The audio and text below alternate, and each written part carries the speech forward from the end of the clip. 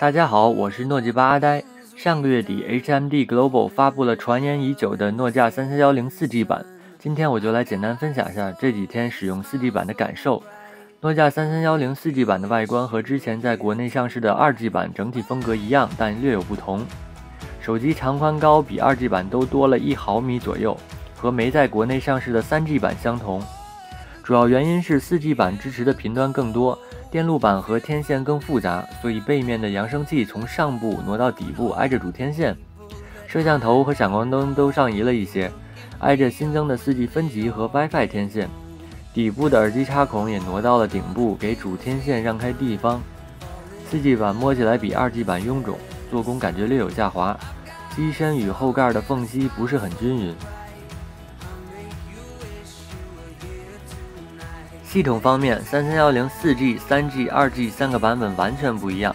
二 G 版用的是基于 MTK 平台的诺基亚 S 三零加界面，三 G 版系统是 FeatureOS，目前还不知道是谁做的。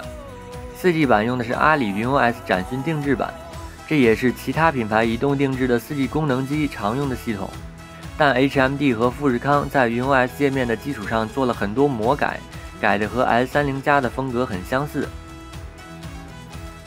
主屏幕上，4G 版少了方向键快捷键，左功能键改为了亲情快捷拨号。App 列表，4G 版目前只支持三乘三的图标排列，而 2G 版支持四乘四图标、三乘三图标和列表排列，同时还可以显示背景壁纸。4G 版的一大改善就是中文字体终于不再是老掉牙的宋体了，样子现代了很多。两款手机在自带应用上就区别比较大了。4G 版的通讯录显示的更大更清楚，但那个灰色头像我怎么找都不知道在哪设置。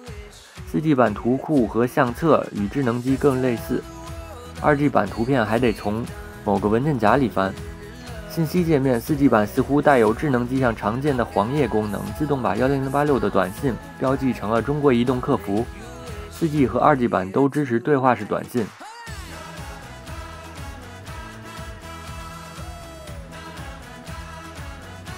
4G 版自带的讯飞输入法带有联想功能，输入中文词组和英文单词时都非常好用。但是如果你要输入非单词的英文或大小写混合的专有名词时就很麻烦。输入法只支持全部大写联想和全小写联想，不支持首字母大写和单独字母输入。想打个首字母大写的 Nokia 是非常麻烦的，得先打个大写的 N，然后切换小写。然后一个一个选 OKIA，不过用户一般不会用这手机发短信，唯一一个逃不掉的场景就是首次连接 WiFi 输密码时。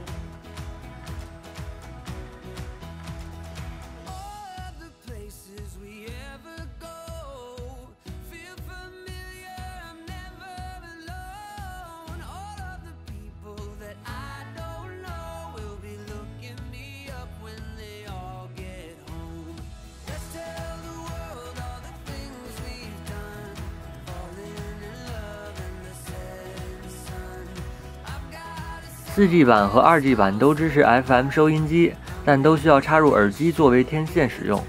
两机的日历非常相似，都可以显示农历。四 G 版自带了一个阿里旗下的虾米音乐，支持在线歌单。最近一次使用时，软件推荐了两个歌单，全都是跟广场舞相关的，真是尴尬。更奇葩的是，这个虾米音乐居然连最基本的显示歌曲进度和快进快退都不可以，只能切到下一首或上一首。很难用。四 G 版和二 G 版的相机都是两百万像素，不支持自动对焦，区别只是在界面上。四 G 版的云 OS 的相机更现代，更像智能机。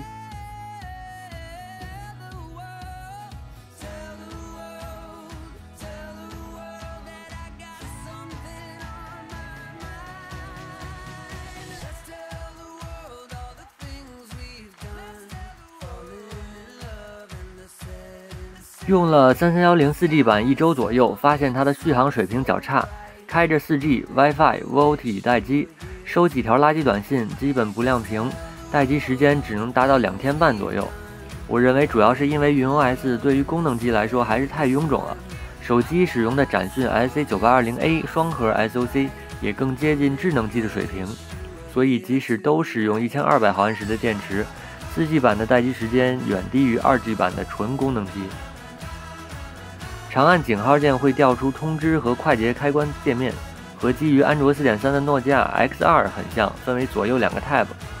目前只有五个开关和屏幕亮度调节，缺一个常用的 WiFi 热点开关，希望以后能赶快加上。功能机用上 4G 网络有什么用？我觉得主要就是两点：一是 4G VoLTE 高清语音通话，二是用作 WiFi 热点。中国移动在2015年商用的 VoLTE 通话，比传统的 2G、3G 通话接通速度快一倍，语音更清晰，可边通话边上网。接下来我们听两段通话录音，分别是3310 4G 版开启 VoLTE 和关闭 VoLTE 时接电话的录音。各位八九，大家好，我是诺基巴阿呆。这是 VoLTE 通话。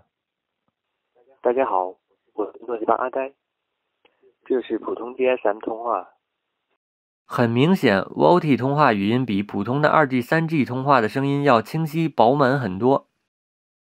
WiFi 热点目前没有快捷开关或快捷键，只能先到 App 列表找到设置，然后选第二项，然后再按下确定，非常不方便。用我新买的微软 Surface Book 2。连接这个热点，随便找个测网速的网站试试速度。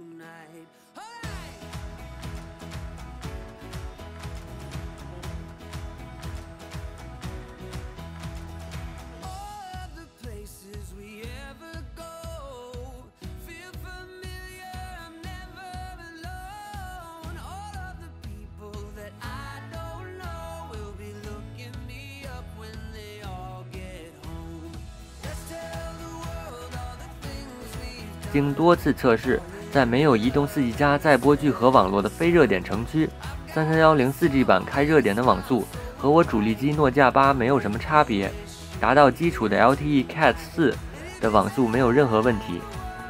Cat 6及以上更快的 4G 网络就没有办法了。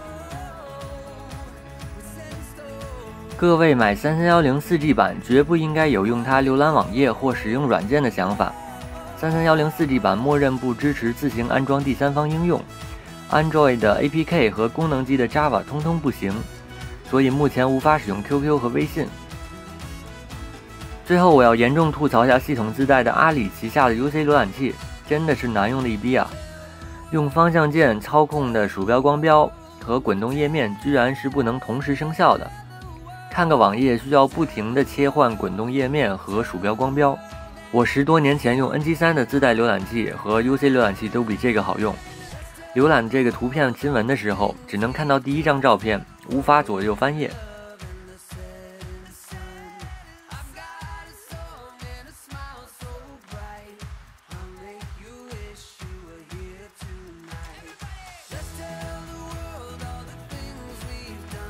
初始页这九个图标和文字都小的快看不清了。所以三三幺零四 G 版也完全不适合中老年人使用。